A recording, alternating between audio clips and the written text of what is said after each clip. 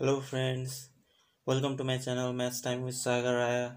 In this video, I will teach you how to find area of triangle when the sides are given in ratio and perimeter is given. Before starting our videos, I would like to request you please subscribe my channel so that you would get the notification of my latest videos. Now without any delay, let's uh, move through the question. In the screen you can see the question uh, in, if the ratio of triangle is uh, 5 is to 7 is to 8 and perimeter is 80 cm find the area of triangle. So the sides are given in the ratio. So i'm just supposing let uh, the sides be 5x 7x and 8x respectively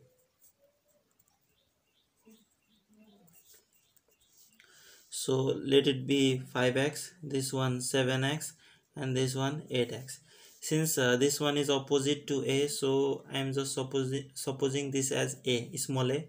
So opposite to b small b and this uh, opposite to capital c small c. Now perimeter is given 80 cm so i am going to use the formula for perimeter. So we know perimeter denoted by p equals to a plus b plus C. Our perimeter is given 80 cm and A is uh, 7x plus B is 5x and C is 8x or 80 cm equals to 7x plus 5x is 12x 12x plus 8x is 20x or 80 cm divided by 20 equal to x. Or x equals to if you just divide this you will get 0 0 cancel to 4 cm so x is 4 cm. Therefore now you can find the, all the sides. You can find a. So a equals to 7x so 7x means 7 into 4 cm equal to 28 cm. Similarly b equals to 5x 5x so b equal to 5x 5 into 4 cm equals to 20 cm and then c equals to 8x so 8 into 4 cm is equal to 32 cm now uh, since uh, all the sides are different here so we have to understand that it is an scalene triangle. And to find the area of scalene triangle we have to first of all find semi perimeter so semi perimeter semi perimeter